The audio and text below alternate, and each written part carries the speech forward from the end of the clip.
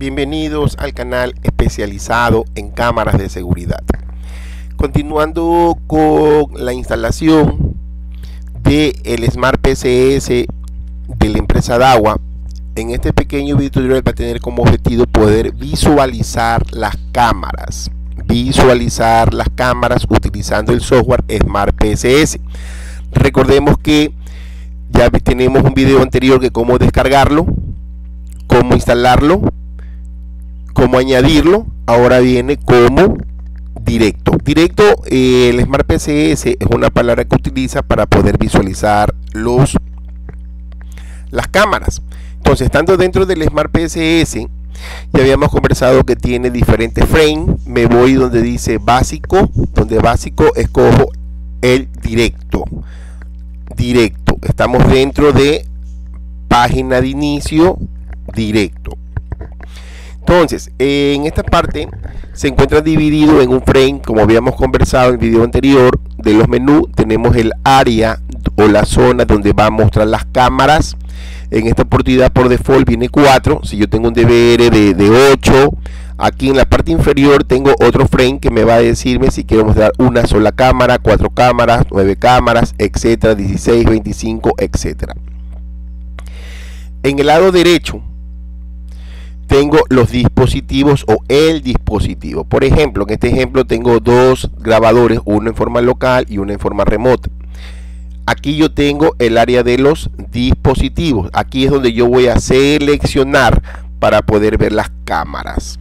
Entonces, si yo me precato, yo tengo un signo más. Significa más, significa que hay un conjunto de cámaras. O sea, esto es como el directorio y este es el contenido del directorio. Si yo visualizo un puntito de color rojo, significa que no está conectado. Si yo hago clic en el más, lo que me va a mostrar son las cámaras. Este es un grabador de cuatro cámaras. Bien, ¿qué es lo que estoy diciendo? Tengo en el área de dispositivos, que es lo que estábamos viendo acá, acá, arriba, ¿no verdad? En el área de dispositivos, de dispositivos. Y aquí me dice, no estás conectado, no estás online. Y es verdad. Aquí me dice que me despliega todas las cámaras que tiene. Entonces, para poder visualizar las cámaras, lo puedo hacer de tres formatos, o de tres formas, o de tres maneras. En forma individual, significa que yo hago clic en el área, o en el cuadrante, o en la ventana, o en el canal de video, y le hago doble clic.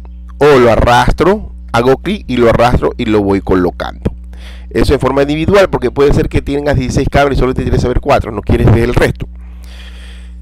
De esta forma vas a poder visualizarla.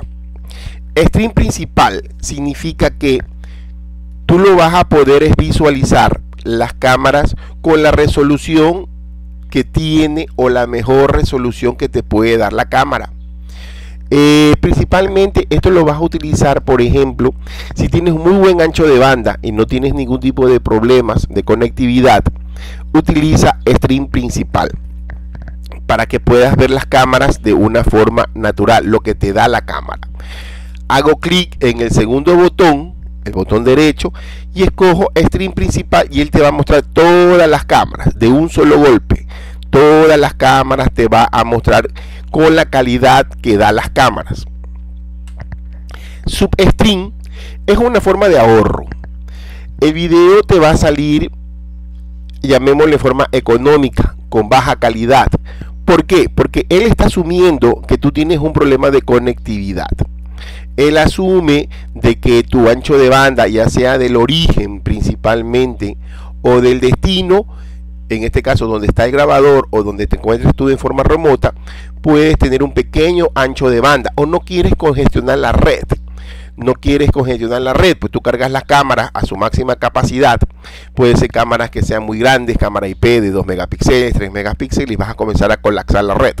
Entonces él te dice, que te doy la opción de verlas de una baja calidad, pero no vas a interrumpir todos los procesos de los otros compañeros. Entonces tienes substream, significa que es de baja calidad para poder. Igual forma, hago clic con el segundo botón afectando o seleccionando el dispositivo y le coloco substring.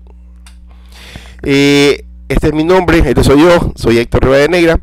Eh, ahí te dejo mi número de mi WhatsApp. Nosotros nos especializamos en lo que son cámaras de seguridad.